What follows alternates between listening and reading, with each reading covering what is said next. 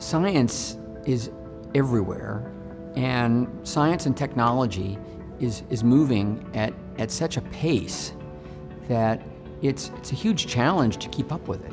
It's therefore all the more dynamic, all the more fascinating to try to, to capture a moment, understand it now, have it there for the future, and to celebrate this active quest to try to make these breakthroughs.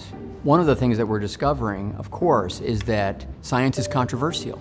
Anyone who is attempting to make a breakthrough is stirring controversy. Great science doesn't come cheap. It's an investment of individual lives, resources, and big decisions need to be made in order to facilitate these breakthroughs. And that's always going to stir controversy. When you want to change, that's unsettling to us human beings.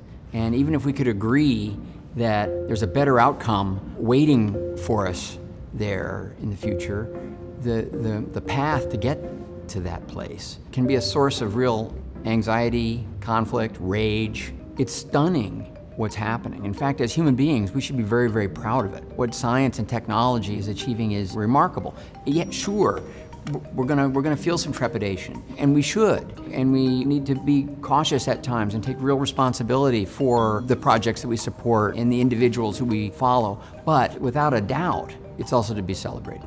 It's a very, very dynamic and exciting time. Scientists, technologists, they can be heroes, but they tend to be more or less kind of invisible. Our episodes attempt to give them a microphone and understand what's making them tick as an individual, what's motivating them, what's driving them. Sometimes it's very surprising.